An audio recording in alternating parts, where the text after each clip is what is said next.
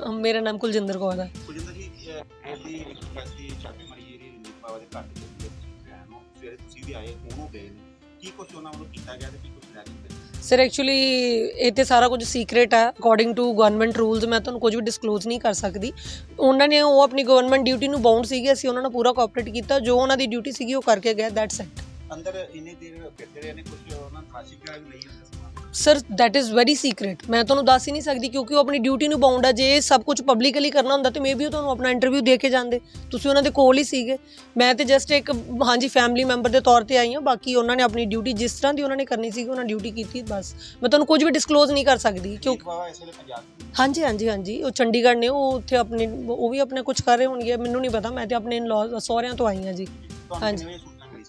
ਮੈਨੂੰ ਤੇ ਐਕਚੁਅਲੀ ਇਹਨਾਂ ਦੀ ਨਹੀਂ ਸੂਚਨਾ ਮਿਲੀ। ਮੈਨੂੰ ਤੇ ਐਵੇਂ ਮੈਸੇਜ ਮਿਲਿਆ ਕਿ ਮੇਬੀ ਕੋਈ ਇੰਟਰਵਿਊ ਵਾਲੇ ਆਏ ਆ ਤੇ ਅਸੀਂ ਨਹੀਂ ਹਮੇਸ਼ਾ ਮੀਡੀਆ ਦੀ ਰਿਸਪੈਕਟ ਕਰੀਦਾ ਵਾ। ਸਾਨੂੰ ਇਹ ਲੱਗਦਾ ਵਾ ਕਿ ਕੋਈ ਵਾਪਿਸ ਨਾ ਜਾਏ। ਅਦਰਵਾਈਜ਼ ਪਹਿਲਾਂ ਮੰਮੀ ਇੱਥੇ ਹੁੰਦੇ ਸੀ ਉਹ ਡੀਲ ਕਰਦੇ ਸੀ। ਮੈਂ ਤੇ ਉਸ ਕੰਸਰਨ ਆਈ ਆ ਮੈਨੂੰ ਨਹੀਂ ਪਤਾ ਕਿ ਇੱਥੇ ਕੋਈ ਐਵੇਂ ਰੇਡ ਹੋਈ ਆ ਜਾਂ ਆਈਟੀ ਵਾਲੇ ਆਏ ਆ। ਮੈਨੂੰ ਇਹਦੇ ਬਾਰੇ ਕੁਝ ਨਹੀਂ ਸੀ ਪਤਾ। ਤੁਹਾਡੇ ਕੋਲ ਕੋਈ ਕੀਤੀ ਬਾਵਾ ਦੇ ਪੱਤੇ ਜਾਂ ਕੁਝ ਹੋਰ ਜਾਇਦਾਦ ਬਾਰੇ?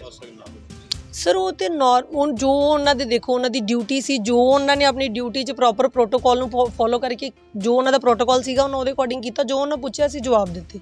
ਕਿਉਂਕਿ ਜੇ ਉਹ ਗਵਰਨਮੈਂਟ ਦੇ EMPLOYE ਕੋ ਡਿਊਟੀ ਨੂੰ ਬਾਉਂਡ ਆ, ਤੇ ਅਸੀਂ ਵੀ ਉਹਨਾਂ ਦਾ ਕ- ਪੂਰੀ ਕੋਆਪਰੇਸ਼ਨ ਕਰਨੀ, ਸਾਡੀ ਡਿਊਟੀ ਬਣਦੀ ਹੈ। ਕਿਉਂਕਿ ਜੇ ਸਾਨੂੰ ਉਹ ਸਾਡੇ ਨਾਲ ਗਲਤ ਤਰੀਕੇ ਨਾਲ ਨਹੀਂ ਚੱਲ ਰਹੇ ਤੇ ਇੱਜ਼ਤ ਨਾਲ ਪੇਸ਼ ਆਉਣਾ ਹਰ ਇੱਕ ਇਨਸਾਨ ਦੀ ਡਿਊਟੀ ਹੈ ਸਾਡੀ ਨਹੀਂ ਕਿ ਸਾਡੇ ਕੋਲ ਆਏ ਆ। ਸਾਰਿਆਂ ਦੀ ਡਿਊਟੀ ਆ ਕਿ ਜੇ ਕੋਈ ਗਵਰਨਮੈਂਟ ਗਵਰਨਮੈਂਟ EMPLOYE ਆਉਂਦਾ ਵਾ ਤੇ ਉਹਨੂੰ ਪ੍ਰੋਪਰ ਰਿਸਪੈਕਟ ਨਾਲ ਪ੍ਰੋਟੋਕਾਲ ਨਾਲ ਉਹਨਾਂ ਦਾ ਉਹਨਾਂ ਨੂੰ ਅਸੀਂ ਕੰਪਰੋਮਾਈਜ਼ ਕਰੀ ਉਹਨਾਂ ਦੇ ਨਾਲ। ਕਿੰਨੀ ਕੁ Subscribe to One India channel and never miss.